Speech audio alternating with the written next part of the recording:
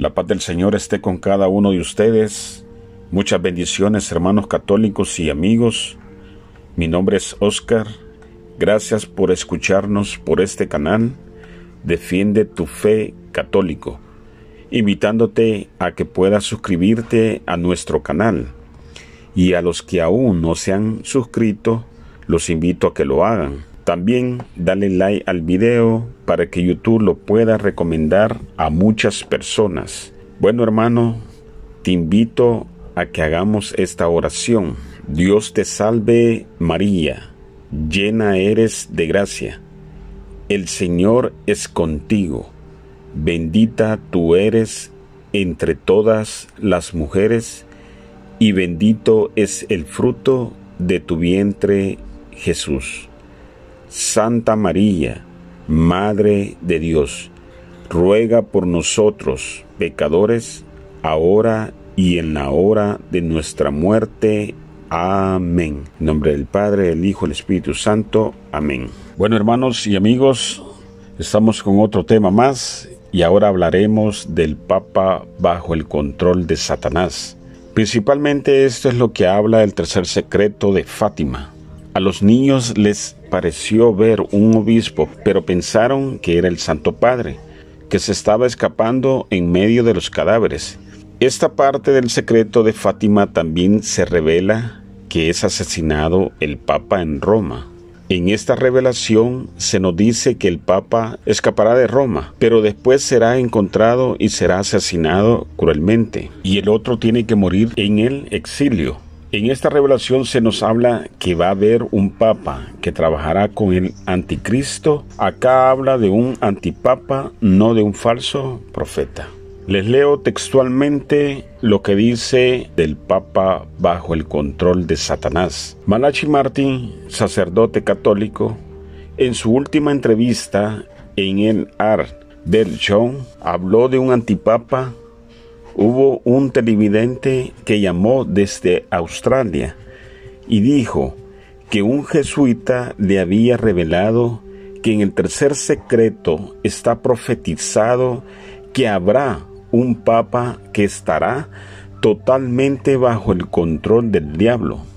Malachi contestó, eso suena como el texto literal del secreto.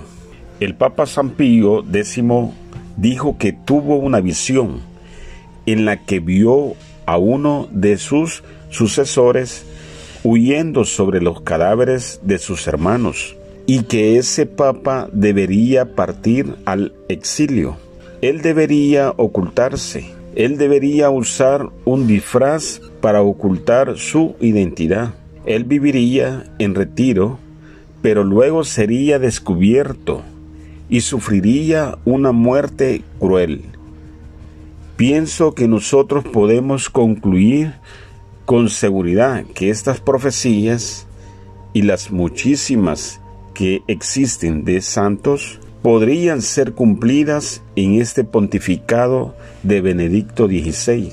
Una razón por la cual creo esto es porque conocí personalmente al estimatizo romano Antonio Ruffini. Lo conocí por casi 20 años. Él recibió estimas visibles en 1955 y fue tan altamente estimado por el Papa Pío XII que él autorizó la construcción de una capilla en el sitio donde Ruffini había recibido los estimas.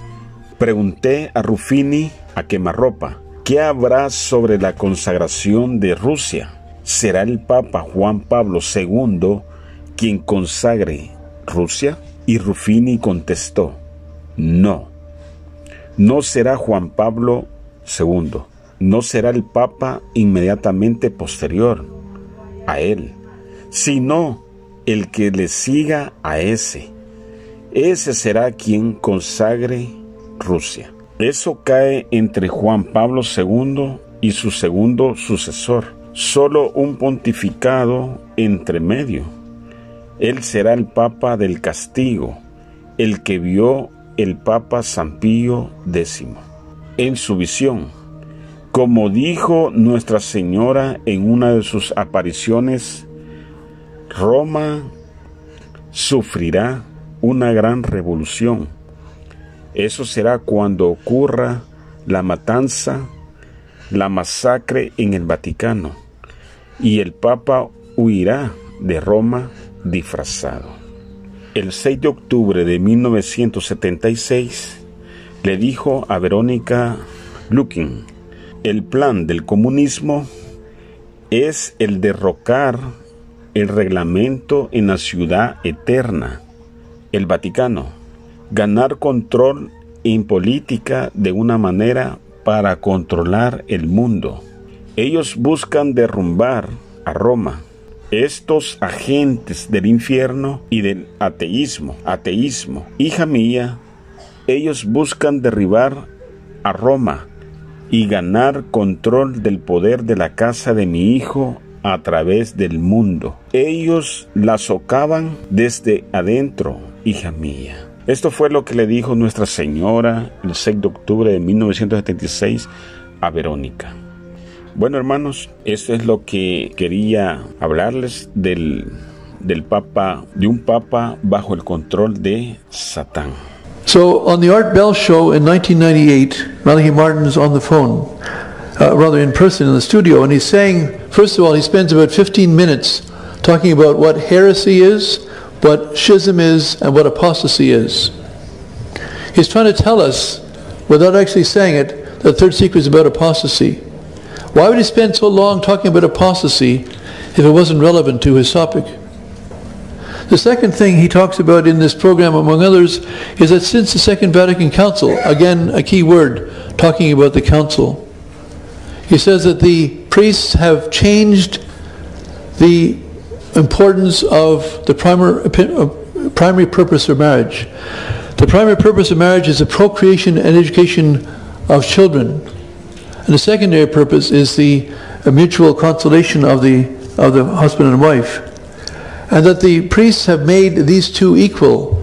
And as a result of that, they have perverted marriage, and we've seen the disaster in Catholic marriage since then. That's also in the secret. He doesn't say so because no one asks him, but he focuses on apostasy, he focuses on contraception, he focuses on the primary purpose of marriage. All of that is spoken about in the secret. Here's what he has to say when asked a direct question about, uh, about the secret. In response to the quotation that a pope would be under the control of Satan, he replied, Yes, it sounds as if they were reading the text of the third secret. That is truly sensational. Malachi went on to say that when the secret was released, the Catholic churches would be full that the faithful would be filling the church on their knees, beating their breast, and the confession lines would be very long.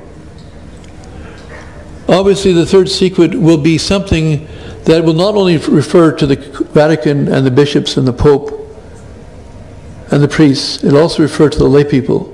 Y respecto a los panes y los peces, quisiera agregar un matiz.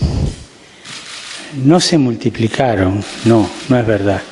Simplemente no se acabaron, como no se acabó la harina y el aceite de la viuda. ¿eh? No se acabaron. O sea, no, cuando uno dice multiplicar puede confundirse y, y creer que hace magia, ¿no? No te olvides de suscribirte a nuestro canal. Dale like al video para que YouTube lo pueda recomendar a otras personas y activa la campanita de notificaciones. Deja tus comentarios y nos vemos en un próximo video. Bendiciones.